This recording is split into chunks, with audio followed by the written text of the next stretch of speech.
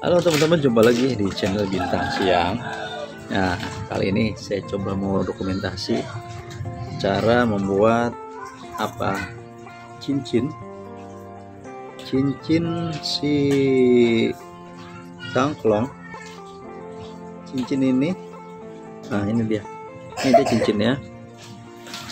Ya cincinnya ini. Nah ini dia cincinnya nanti bisa masuk ke dalam sini. Gitu ya. Ini ukuran 8 kalau tidak salah ukuran bornya. Ya ukuran 8 ini kita siapin dari bahan aluminium. Aluminium bekas ya aluminium bekas. Bekas antena biasa bekas antena ada tuh. Ya contohnya kayak gini nih tuh. Ya ini bahan aluminium ya. Ini waktu itu sudah saya buat. Ini dari bahan kayu kayu sawo. Saya punya dua. Waktu itu ini ini bahan kayunya dari kayu katuk daun katuk. Ya ini dari daun katuk.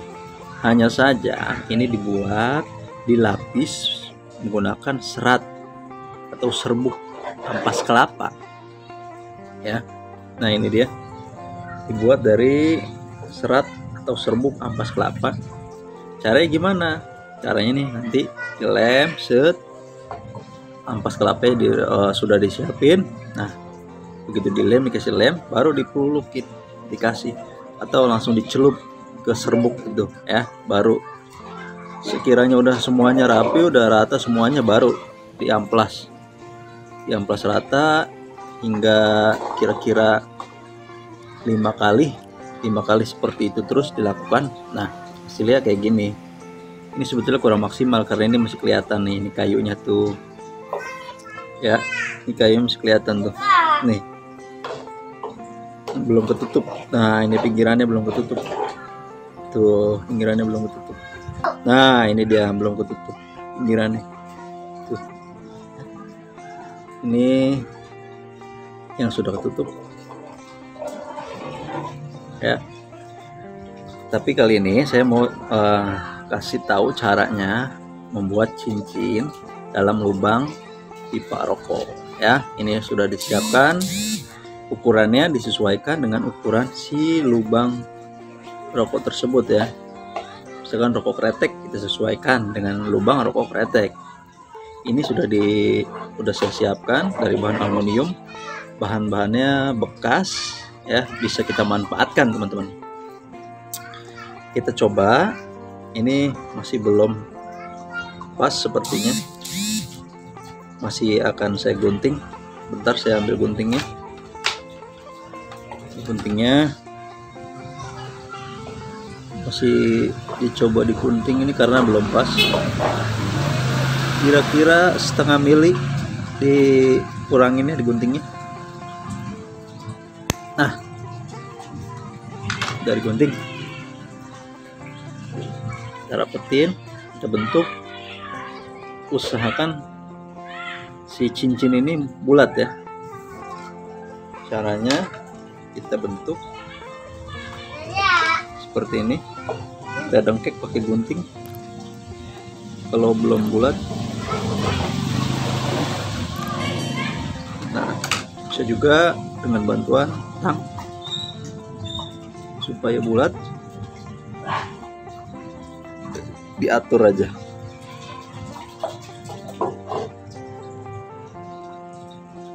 Nah ini udah hampir bulat ya. Belakangnya juga pastikan harus bulat. Ketok dikit. Pelan-pelan aja karena ini aluminium. Bahannya mudah mudah melengkung. Nah. Nah. Dia kita coba masukin ke dalam lubang si pipa rokoknya. Kalau masih kurang kita potong lagi di sini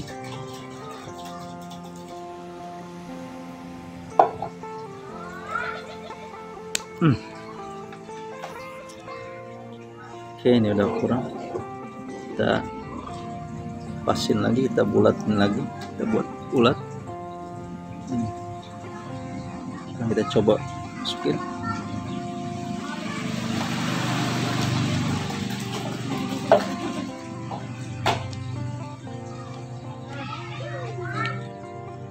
Suasananya habis hujan di sini bos nah ini hampir masuk. Kayaknya sedikit lagi.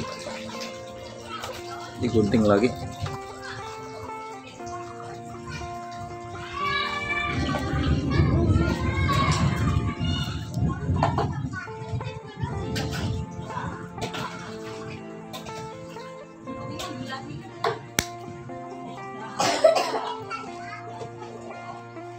Ini limbahnya.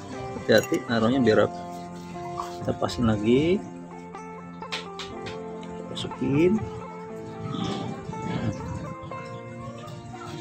Sekarang coba kita ketuk. Sambil nanti diukur kedalamannya berapa. Nah, nih. Kedalaman si pipa ini tuh berapa nah kalau sekian seandainya segini. Kita siapin nanti pakai regaji paralon tapi ini masuk masuk. Kelihatan?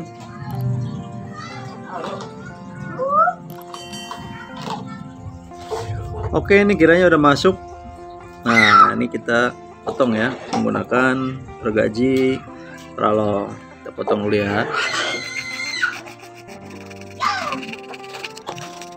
potong ya. Nah ini hasilnya yang udah dipotong.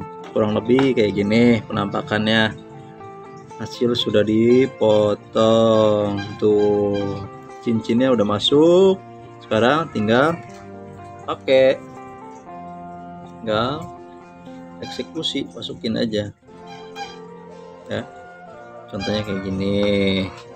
Ini udah jadi. Tuh penampakannya. Penampakan dari cincin cangklong. Ini sudah jadi. Ya tinggal disesuaikan dari ukuran. Oke ini penampakan. Penampakannya kayak gini. Ini. Nah kayak gini oke sampai sini dulu teman-teman. Semoga ini manfaat. Silakan yang mau coba dicoba aja di rumah menggunakan bahan bekas dari aluminium antena ya. Untuk apa ini? Membuat cincin cangklong ya. Buat dalamannya nih ya. Supaya uh, bahan si cangklong ini enggak mudah panas Oke teman-teman yang baru saja bergabung silahkan tekan tombol subscribe supaya channel ini berkembang dan semangat terus buat videonya. Terima kasih banyak teman-teman. Assalamualaikum warahmatullahi wabarakatuh.